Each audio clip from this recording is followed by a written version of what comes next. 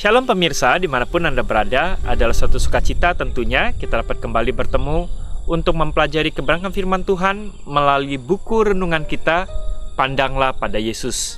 Ditulis oleh George R. Knight, di mana dia selalu mengajak kepada kita agar hari demi hari kita memfokuskan pandangan kita kepada Kristus, karena dia mengetahui setiap rencana yang terbaik ataupun setiap pergumulan-pergumulan yang kita hadapi di dalam dunia ini.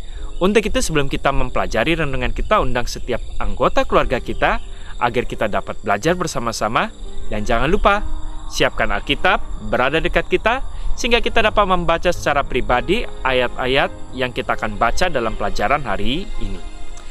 Judul pelajaran kita pada hari ini adalah Perjuangan dari Perjuangan. Hidup ini tentu perlu perjuangan. Kita akan membaca ayat intinya di dalam Matius 26 ayat 39 sampai 44. Matius 26 ayat 39 sampai 44. Jikalau kita sudah menemukannya, kita dapat membaca bersama-sama. Matius 26 ayat 39. Saya akan membacakannya. Ayat 39 dikatakan, maka ia di sini adalah Yesus maju sedikit, lalu sujud dan berdoa. Katanya, "Ya Bapakku, jikalau sekiranya mungkin biarlah cawan ini lalu daripadaku, tetapi janganlah seperti yang kuhendaki, melainkan seperti yang engkau kehendaki." Setelah itu ia kembali kepada murid-muridnya dan didapati mereka sedang tidur dan ia berkata kepada Petrus, Tidakkah kamu sanggup berjaga-jaga satu jam saja dengan aku? Berjaga-jagalah dan berdoalah, supaya kamu jangan jatuh ke dalam pencobaan. Roh memang penurut, tapi daging ini adalah lemah. Lalu Yesus pergi untuk kedua kalinya dan berdoa katanya, Ya Bapakku, jikalau cawan ini tidak mungkin lalu, kecuali apabila aku meminumnya, jadilah kehendakmu. Ya, Kemudian ayat 43, dan ketika ia kembali pula, ia mendapati murid-muridnya sedang tidur, sebab mata mereka sudah berat. Ia membiarkan mereka di situ lalu pergi dan berdoa untuk ketiga kalinya. Dan mengucapkan doa itu juga. Ini adalah perjuangan Yesus sebelum dia menghadapi kayu salib. Tetapi dia memberikan suatu nasihat yang sama kepada murid-muridnya. Berjaga-jagalah dan berdoalah. Dan dalam kehidupan doa kita, jangan kehendak kita yang jadi. Tetapi kita harus selalu mengatakan, kalaupun memang cawan ini pahit, tapi biarkanlah aku meminumnya. Asal kehendakmu yang jadi bukan kehendak kami. Ini adalah perjuangan. Dan dalam kehidupan ini kita perlu berjuang bersama-sama dengan Tuhan untuk mengalahkan diri sendiri ini karena keinginan daging, keinginan lemah ini yang akan menuntun kita kepada kejatuhan-kejatuhan di dalam kehidupan ini. Yesus sudah mencapai titik krisis dalam kehidupannya. Sewaktu kemanusiaan yang lemah menjangkau kehendak daripada rencana Tuhan. Ya, secara kemanusiaan dia lemah. Dia membutuhkan kehendak Tuhan yang jadi bukan kehendak kedagingan ini.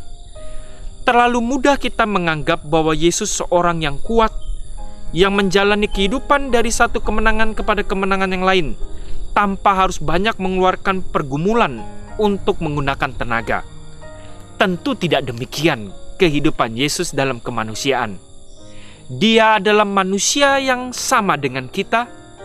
Dia butuh perjuangan dan membutuhkan tenaga seperti kita semua, Yesus pun bergumul. Tetapi perjuangan yang Yesus lampaui melampaui tujuan kehidupan kita. Dikhawatirkan oleh pencobaan-pencobaan, tantangan-tantangan yang kecil muncul di dalam kehidupan kita.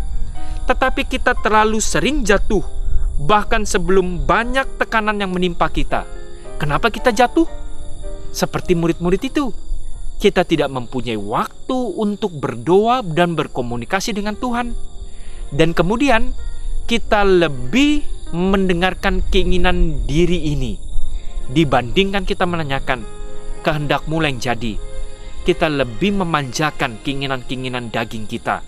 Itulah sebabnya sebelum kita berjuang dengan maksimum, kita sudah lebih mudah menyerah dan jatuh daripada keinginan-keinginan tersebut.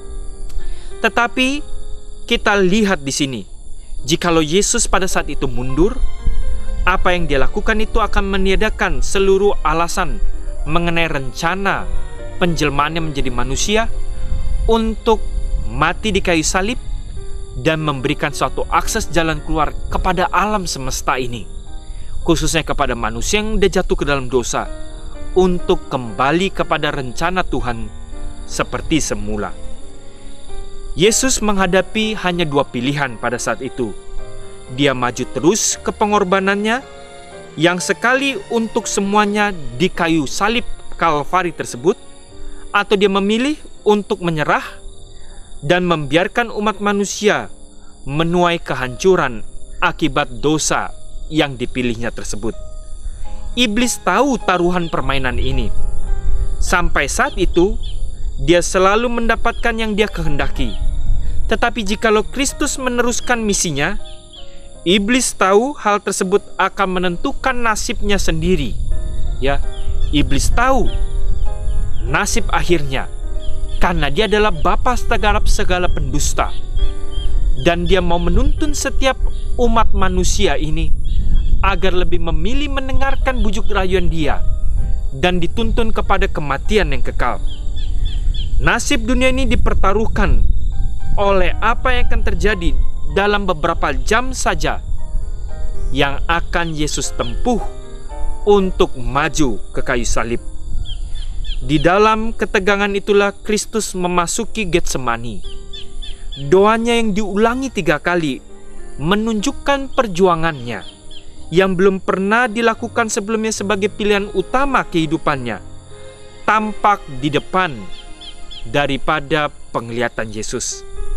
Seperti manusia-manusia yang lain, dia tidak berkeinginan untuk mengalami kematian yang memalukan di kayu salib, ya kita sebagai kemanusiaan kita juga sering kali kita lebih untuk mengikuti keinginan-keinginan daging ini sendiri.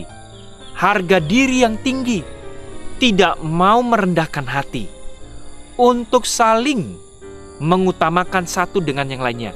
Tetapi kita lebih mengutamakan harga diri. Yesus jikalau dia mengikuti kata hatinya, dia juga harga diri ini malu untuk mati secara memalukan di kayu salib. Karena pada saat itu, mati di kayu salib adalah proses yang sangat memalukan. Tetapi bukan itu masalah yang sebenarnya yang Yesus sedang hadapi. Problema yang paling inti adalah bahwa di atas kayu salib, dia akan mati untuk dosa-dosa seluruh umat manusia. Dia menjadikan dirinya berdosa untuk kita itu yang ditulis oleh Paulus dalam 2 Korintus 5 ayat 21. Kita dapat membaca 2 Korintus 5 ayat 21. Di situ dikatakan ayat 21 dari 2 Korintus 5, Dia yang tidak mengenal dosa telah dibuatnya menjadi dosa karena kita, supaya dalam Dia kita dibenarkan oleh Tuhan dia mau menanggung semua permasalahan daripada dosa tersebut. Kemudian dalam Galatia 3 ayat 13 kita juga dapat membacanya. Galatia 3 ayat 13. Sehingga kita dapat mengerti perjuangan Kristus di kayu salib itu. Du Galatia 3 ayat 13 di situ dikatakan Kristus telah menebus kita dari kutuk hukum Taurat dengan jalan menjadi kutuk karena kita, sebab ada tertulis, "Terkutuklah orang yang digantung pada kayu salib." Ayat 14, Yesus Kristus telah membuat ini supaya di dalam Dia berkat Abraham sampai kepada bangsa-bangsa yang lain, sehingga oleh iman kita menerima roh yang telah dijanjikan itu. Ini adalah jalan keluar untuk semua manusia. Tidak pandang suku, tidak pandang agama, tidak pandang bangsa apa pun. jalan keluar satu-satunya yang Tuhan berikan melalui penjelmaan melalui anaknya Yesus Kristus secara manusia ini adalah jalan keluar satu-satunya untuk kita terlepas daripada kutuk dosa ini yaitu adalah kematian kemudian dia mengambil memikul kutukan itu dalam buku Alfa dan Omega roh nubuat menunjukkan bahwa ia merasa bahwa oleh dosa ia sedang dipisahkan dari bapaknya. Ini yang mau diberikan suatu pengertian kepada kita. Dosa itu memisahkan kita dengan Tuhan. Jurang yang sangat lebar, sangat gelap, sangat dalam sehingga jiwanya bergetar di hadapannya. Tidak seharusnya ia menggunakan kuasa ilahinya untuk menghindari sengsara ini. Sebagai manusia, ia harus menderita akibat dosa manusia sebagai manusia, ia harus menanggung murka Tuhan terhadap pelanggaran. Dalam Alfa dan Omega jilid ke-6, halaman 328 dan 329. Kita harus mengetahui bahwa permasalahan dosa itu yang sangat mengerikan adalah perpisahan kita dengan Tuhan. Dan Yesus mau memikul ini. Yang ditakuti adalah dia belum pernah berpisah dengan Bapa tapi dia harus memikul ini sehingga dia mengalami perpisahan dan perpisahan ini sangat mengerikan jikalau kita berpisah dengan Tuhan. Ini yang kita tidak sadari. Dan setan memberikan semua penipuan ini. Dia berikan penawaran-penawaran yang indah dunia ini supaya kita dapat tertipu karena kita akan berpisah dengan Tuhan.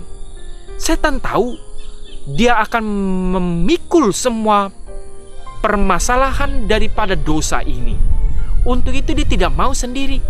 Sehingga dia memberikan daya tarik-daya tarik dunia ini untuk menuntun kita agar mengambil pilihan sehingga kita tertipu untuk mengalami perpisahan yang kekal dengan Tuhan. Dan Yesus memberikan jalan keluar ini, dia mengambil permasalahan kutuk dosa itu sehingga kita memperoleh suatu akses untuk tidak mengalami perpisahan kekal tersebut. Inilah yang seharusnya kita mengerti, pemirsa, bahwa perpisahan yang paling mengerikan adalah perpisahan dengan Tuhan. Jadi, dalam kehidupan ini, hendaknya kita mendengarkan setiap rencana yang terbaik yang Tuhan telah berikan kepada kita, bahwa kematian di kayu salib memberikan suatu jalan keluar untuk kita mengerti bahwa setiap kebenaran-kebenaran yang Tuhan berikan dalam hukumnya adalah menuntun anak-anaknya kepada kehidupan yang kekal. Tetapi setan memberikan suatu jalan keluar yang kesannya memberikan suatu kenikmatan, tetapi itu adalah kenikmatan sementara, tapi menuntun kepada perpisahan yang kekal. Dengan beban itu di atas dirinya, Yesus berjuang merasakan sakit yang tak terkira dan akhirnya menyatakan bahwa dia akan melakukan kehendak Tuhan dan bukan kehendaknya sendiri. Dan biarkanlah dalam kehidupan kita, perjuangan kita adalah mengalahkan keinginan daging kita, bukan kehendak diri kita sendiri, tapi biarkanlah kehendak Tuhan yang jadi di dalam setiap pergumulan-pergumulan kehidupan kita. Dan dengan demikian, kita akan selalu berjalan bersama dengan rencana Tuhan. Dan suatu saat kelak, kita akan mengalami suatu kesukacitaan yang kekal yang sesungguhnya, di mana kita akan bertemu muka dengan muka dengan Bapa, dibandingkan kita memilih keinginan daging dan kita mengalami perpisahan yang kekal, dan itu sungguh sangat mengerikan. Biarkanlah melalui pelajaran ini kita memperoleh berkat kita dan seisi rumah tangga kita. Tuhan memberkati.